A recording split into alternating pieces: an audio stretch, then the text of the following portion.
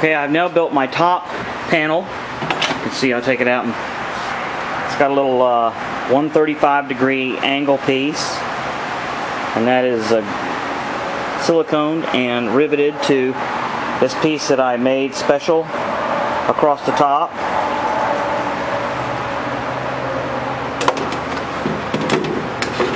Fits on fits on top. That and it slides down that side. And it bolts through to here so you can see that it's it's in position. It comes out it actually comes over the edge of each side give a maximum coverage here. Now I've closed the hood down and it closes directly down on this. Are only little areas that have a gap are these little raised areas right here and here and I'm going to work on trying to seal that off. But I just got to start building the next pieces I've been working out here a little while on this uh, paper template to fit in here.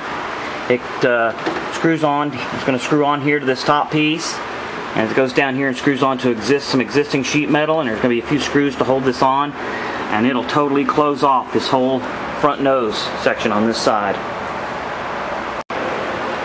Okay, now I've cut my piece of thin aluminum here from this piece. I fit it in place a couple times put a couple screw holes through it so that it'll fit right down in that opening there.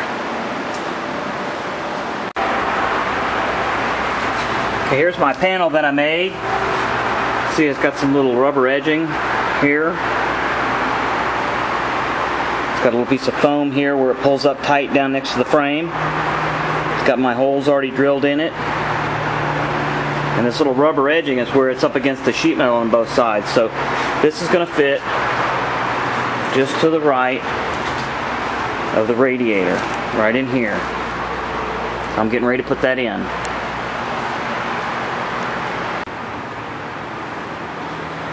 Okay, now here's the little passenger side piece.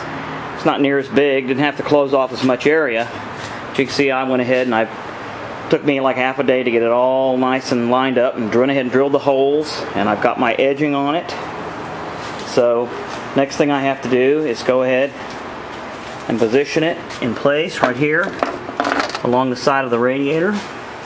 So I'll fit that down in there with a little silicone and get my screws good together and I'll be, once I get that in, I'll be finished because this side is done.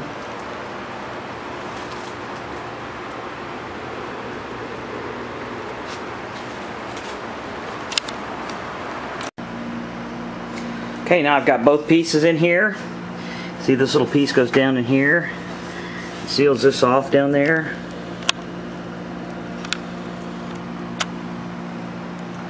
Got my top piece in. This blocks it down when you close the hood. This seals against the hood to keep everything in the front, all the hot air in the front of the car, in the front nose, blowing out this big hole here down in the bottom. I've gone ahead and run it. It runs well. Uh, it seems to do really good. It's not overheating at all anymore. And uh, but if I end up having any more issues, I can drill some holes through the sides over here on both sides to see if I can let a little bit more air out. But it seems to be working great right now. I went ahead and bumped up my uh, my connection and my wiring and my fusing to 40 uh, to a 40 amp because this thing that motor pulls quite a bit of current. So I didn't want to cook any wires, so I fixed those. So this is ready to go.